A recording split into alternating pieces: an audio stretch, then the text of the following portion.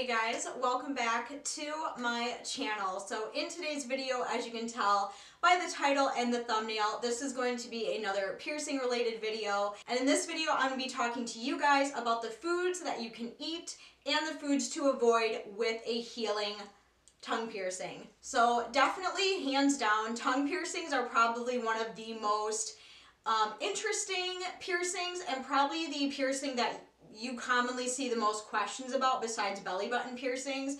At least in my opinion, I'll usually have people either ask me about belly button piercings or tongue piercings. So I really try to be as informative as possible here on my channel for maybe those of you who don't know what you can and can't eat or your piercer didn't tell you what you can and can't eat and you're just kind of looking online. Hopefully this video is helpful to you guys. So without further ado, let's go ahead and get started. So typically for a tongue piercing, it can take up to two to six weeks about to fully heal. Tongue piercings are generally the quickest healing piercing. The tongue is a pretty strong muscle and it does heal pretty quickly. Like if you've ever had like a swollen taste bud or you've ever bitten your tongue or anything like that, you do notice that it does tend to heal over rather quickly. So luckily tongue piercings are very easy to heal if you do everything correctly, but the healing process can also be kind of a pain in the ass because not only do you use your tongue to talk, you use it to eat, chew your food, drink, you know, whatever. We use our tongue in literally everyday life. So when you have a piercing in there, it can kind of make the healing process a little bit of a bitch. I do have a full tongue piercing playlist here on my channel where I basically talk about, you know, the healing process, changing it, how to change it, how to clean it, you know, everything like that. So if you guys are interested in that, just go ahead and go onto my channel and find that playlist or I will have it linked up in the corner for you guys if you want to get a little bit more information. One thing I do want to say also is when people do get their tongue pierced, some people really struggle to try to learn how to eat and some people don't have any problems at all. Like I've known some people to go and get their tongue pierced and then they went out for a steak and burger dinner that same night, whereas some people struggle to take a simple sip of water. So it really kind of all depends on the person. Um, me personally, I did kind of struggle to learn how to eat because not only is my tongue piercing closer to the front of my tongue than in the back, but also because you do have such a long bar starting out, it is kind of hard to eat without it flopping around your mouth or you accidentally biting it. Another thing I want to quickly say before we get into this is if you do have a healing tongue piercing yourself, make sure that you are rinsing and or brushing your mouth and your tongue after every single meal. It is very, very important or after every time that you smoke. Um, I really wouldn't recommend smoking um, cigarettes with a new tongue piercing just because like that's just a lot of nastiness in your mouth.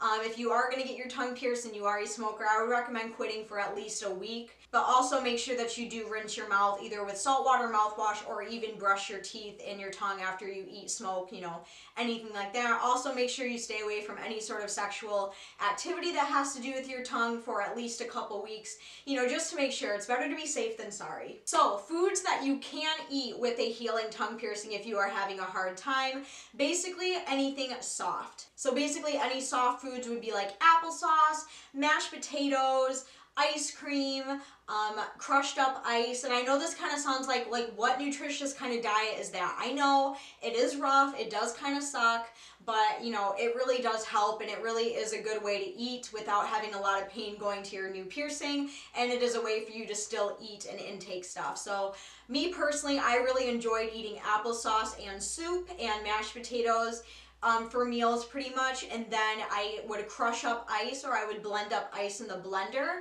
and that would really kind of help with the swelling and the pain because ice obviously is good for swelling. So I would basically just like eat ice chips after I would have some soup or some mashed potatoes.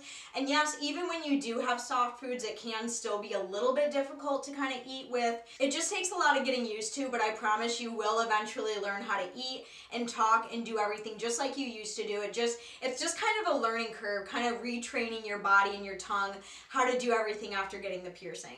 And if you are the kind of person who can't stand eating that kind of stuff, I do totally understand if you're the kind of person who has to have a full, hearty, big meal. Just make sure that if you are going to go down that route, make sure you, one, chew very, very carefully. Make sure that you cut up the food into very, very small pieces. Don't shove your mouth full of food and try to chew it all at once because you will risk either hurting the piercing or you will risk biting down accidentally on the really long bar and possibly chipping a tooth. Chewing one piece at a time, taking sips of water to kind of help it go down and kind of swish out the food from the tongue piercing area. And then I also have a list of foods to avoid when you do have a fresh tongue piercing because there are certain foods and drinks and liquids that you shouldn't be drinking or eating with a tongue piercing.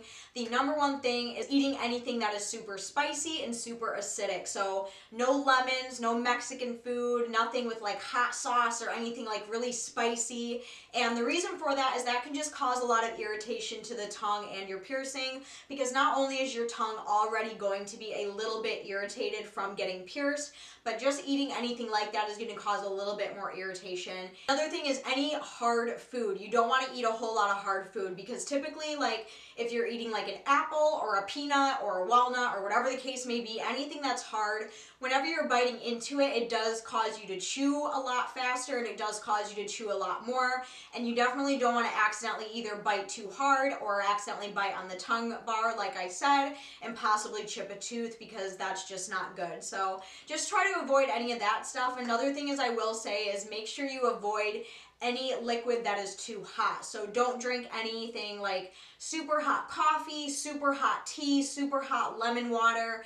Um, make sure that everything that you're drinking is either cold and or room temperature. And I learned this from firsthand experience and I learned this the hard way because I think it was on day two or three I think it was day two of my healing process. I was over at my mom's and I was drinking hot chicken broth.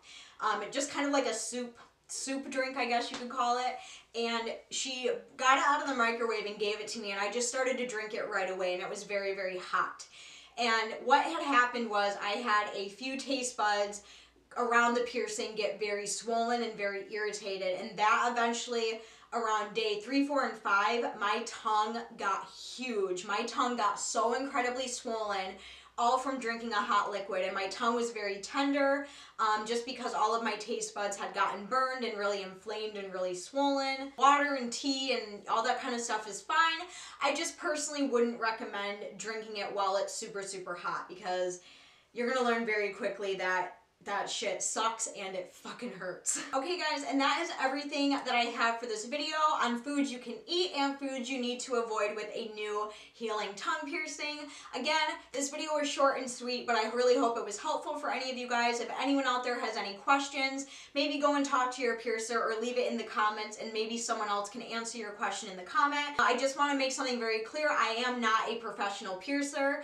I just do these piercing videos based on my own personal knowledge and my love for overall piercing. So if you guys have any concerns with your piercings or you don't really know if it's healing correctly, make sure you either one, go ask your piercer personally and have them look at it for you or go onto my channel and look up a couple more videos that will maybe help you. If you guys did enjoy this video, make sure you give it a huge thumbs up. Don't forget to go down and subscribe. If you are new here, I just want to welcome you to my family. I do upload every three to four days on this channel. Make sure you check out all my social media links linked here and in the description box.